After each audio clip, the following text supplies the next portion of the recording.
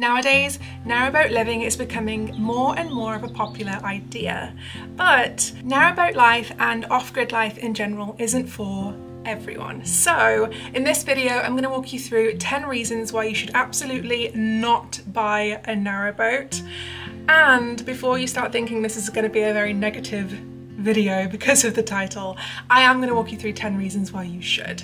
So that hopefully you have a balanced, well-rounded view of the pros and the cons and then you can make your decision from there. Reason number one, narrowboats can be very expensive to purchase and to maintain. So if you're looking at wanting a boat that you can just move aboard instantly, you're looking for a decent one upwards of about £35,000. They tend to go upwards from 35,000 to 70 odd thousand and more if you want a brand new boat.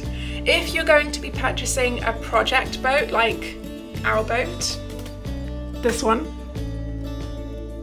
then you're looking at paying around £20,000. So 20 to 25,000 for a, a, boat that's got a really good hull. You can get some project boats for around £18,000, but you have to be so diligent and fast when it comes to purchasing those because they tend to sell really quickly. Just bear in mind that the renovation itself will be more pricey than you think it will be. So even if you spend say £20,000 on the boat itself, you will likely end up spending 20 grand more or 25,000 pounds more to renovate it. I did just mention that boats aren't just expensive to buy, they're expensive to maintain and that is because everything that you get done on a boat is kind of classed I guess as a specialist job. So a lot of trade tradespeople don't really like working on boats. You'll be more likely to be getting your work done to the boat at a boatyard. The problem is that it tends to be quite pricey, especially if you're getting work done like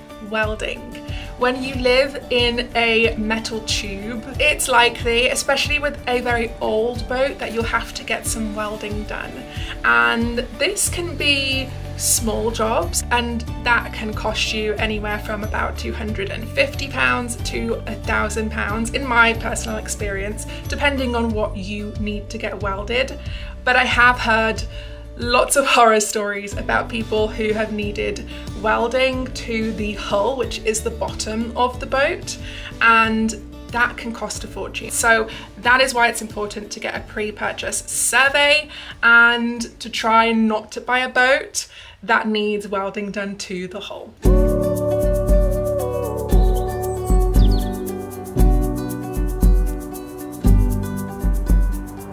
Maintenance can be time consuming because you have things like your engine, your engine bay, the boat itself is made of steel and steel rusts. You have to do things like black the bottom of your boat every few years you're supposed to, which is something that you can pay someone to do or you can do it yourself. I paid someone to do it for me for about 300 pounds I think or 250. I've heard some people paying up to about 700 so you can pay someone to do it for you, you can do it yourself. The point is that there are lots of maintenance things that you have to do with a boat and even though it's portrayed as a simple life and it can be to some degree, there's a lot involved and it isn't just a case of living a slow, simple life and never having to do much. There's always something to do on a boat. And there's a saying that a lot of people in the boat community will tell you, which is that boat stands for bring out another thousand. And I can confirm they're not wrong.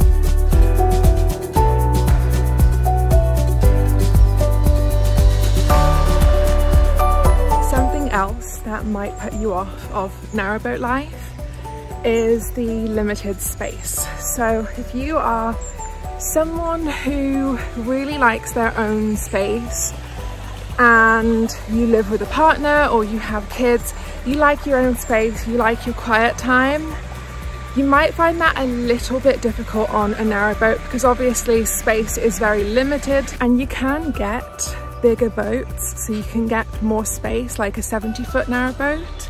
The problem is that when you have like 70 foot boats or you have like a wide beam or something like that, you can only go to certain parts of the UK. You can't travel everywhere because there are certain locks that you won't be able to get through with a wide beam or like a 70 foot boat. So your best bet if you are hoping to do narrowboat life for travel, the best kind of size to be able to get through all the locks would be like I think they say it's in the 40 to 50 something range. So if you have like a 45 foot boat like we do, or 50, I don't know, 55, 56 foot boat, you'd be totally fine. But if you are hoping to get a 70 foot boat, or you're hoping to get a wide beam, then just know that that's gonna, unfortunately, limit your options for where you can go in the UK. Another reason why you might not be into narrowboat life is the lack of privacy. If you are moored up on the towpath, what you can expect to happen is lots of people peering through your windows, even when you are, you know, in the bathroom, lying on your bed in your pajamas, making your coffee in the morning. And if you're outside of the boat, so you're just sat in the bow, having a nice cup of tea, enjoying the sunshine, you will likely get passers-by stopping, wanting to have a conversation, ask you questions about boat life. And it's understandable because it's a different and a unique way of life, and it's something that not a lot of people know very much about. And so naturally, people are curious and they want to strike up conversation. But if you are a very shy person or you're someone who really likes your privacy, this might not be the way of life for you. Lack of privacy isn't just limited to when you're on the towpath. It can also be something that you experience in a marina because in marinas, all of the boats are pretty close next to each other and that means that you can look out of your windows and typically see one of your neighbours. You can see John in his briefs in the morning pouring himself a cup of tea, you know? So if you're someone who really values privacy, you're pretty shy, you don't want to be stopping and having conversations with a lot of people on a daily basis. Um, you won't get that so much in a marina, but you definitely will on the towpath. So that's just something to keep in mind. Something else to be aware of is limited amenities. Because when you're living on a boat, particularly when you're out on the canals and you're not inside of a marina, you are going to have limited water, limited gas, limited electric. And this means that you're going to be having really short and fast two minute showers, no more long, luxurious, steamy showers like you might be used to in a house. And this might also mean that you need to be careful how much water you're using for washing up and stuff like that, and careful how much electricity you use. So, if this would be a problem for you, then you can either choose to stay in a house, which there's nothing wrong with, or you can choose to stay in a marina where it isn't the same as living in a house, but you still do have access to electric and water. So it's a little bit easier than living off grid on the canal. So another point to make is limited resale value because unlike a house, boats depreciate in value over time kind of like cars do usually. So what I like to say to people is if you are thinking of buying a boat as an investment, that's not the right reason to buy one. Only buy a boat if you really love boats because for some the prospect of buying a boat and not making back the money that you paid for it is enough to put them off. But for others, they might think that uh, it's okay. It's worthwhile for the adventures and the memories that you're going to make on that boat. So if you're buying a boat as an investment or something along those lines, or you're not okay with losing money on the boat when it comes time for you to sell it, then it's maybe not the right thing for you.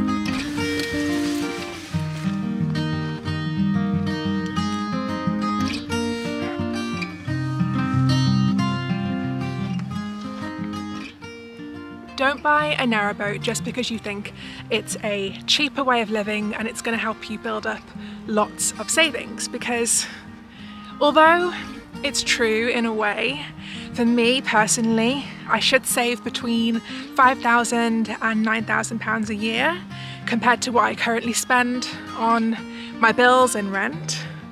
However, like I said in the previous point, you might lose money when it comes to the resale. So depending on how many years you live aboard and what kind of damage may or may not happen to your boat, you might find that what you saved each year is the money that you lose on the resale. Narrowboat life can also involve a lot of physical work. For instance, sometimes you have to climb off of your boat up ladders with a rope over your shoulder and a windlass, windlass, windlass in your hand. Sometimes some locks are so difficult and hard to open that you need somebody else's help to do it. And then there are things like lots of towpath walking, having to squeeze and contort yourself into an engine bay or into a gas locker to do things like maintenance and cleaning.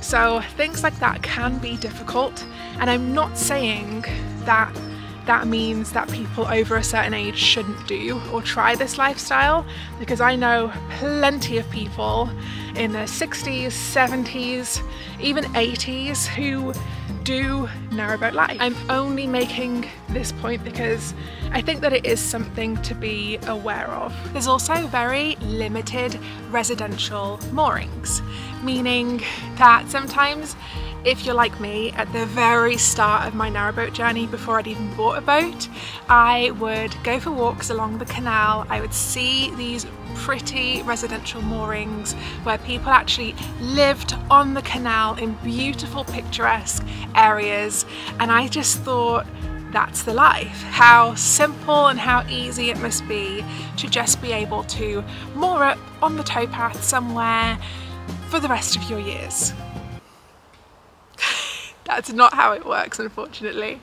Residential moorings are very limited, meaning that unless you're very lucky and lucky enough to get one on the actual canals or somewhere like a farm, you have two options. So your options are to number one, continuous cruise, which means that you can keep cruising continuously on the canals and you have to move every two weeks unless you're in an area where it specifies that you can only stay for a few days or you can moor in a marina. So if you aren't keen on the idea of living in a marina where you're going to have boats usually moored on either side of you and there's that lack of privacy, or you aren't keen on the idea of moving your boat every couple of weeks because maybe you have a job that is limited to one area for instance then you might want to think of different options instead of boat life. I know that I said I had 10 points for why you should not buy a narrow boat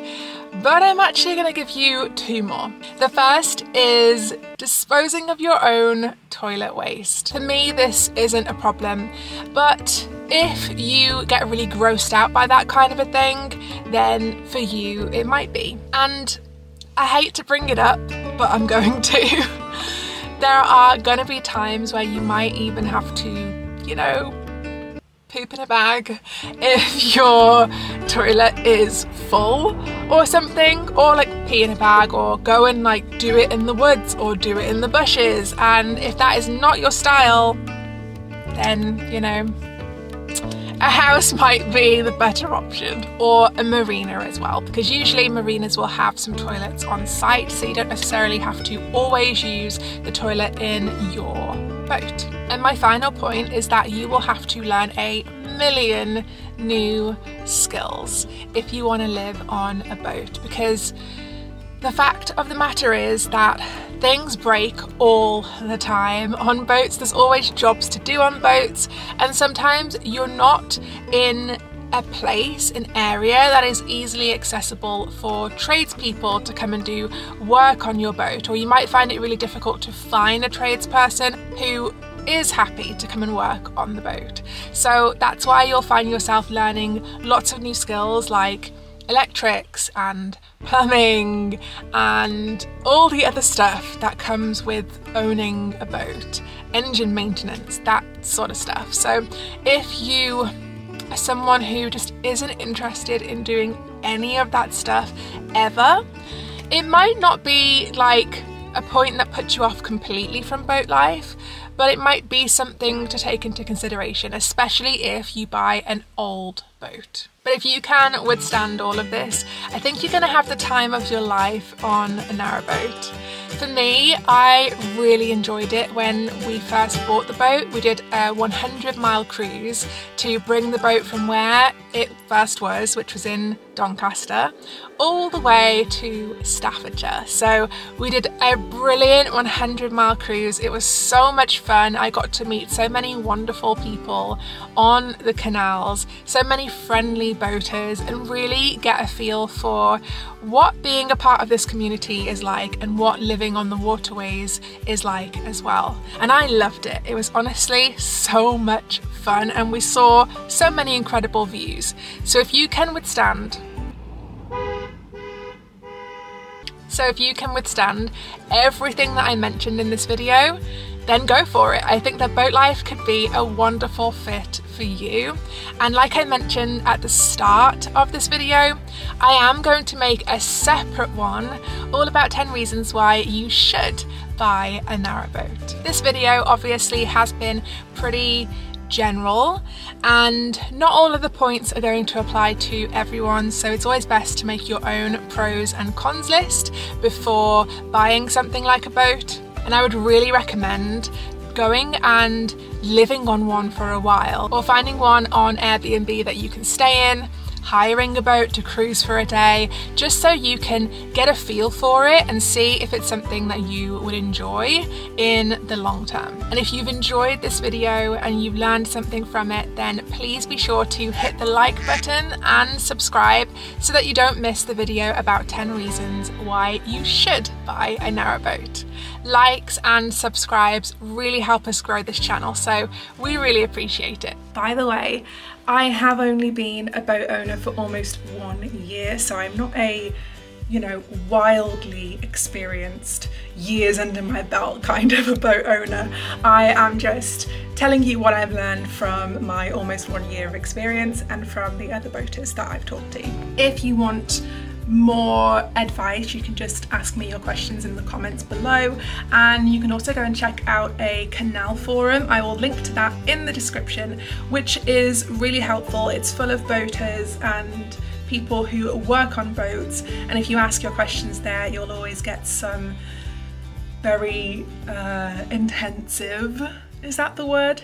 Detailed replies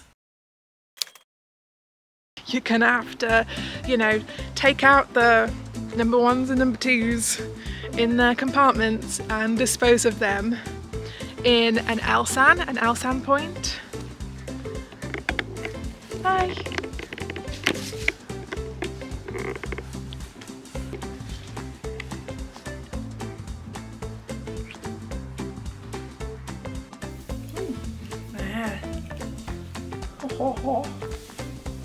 Literally just left the house in a rush this morning, so did not do my hair, I just put a hat on. Okay, that'll do. That'll do. Forgot what I was going to say. What was it? What was it? Reason number one. Oh, I've got hair in my eye. Another. Why? Why did I have to ruin that shot?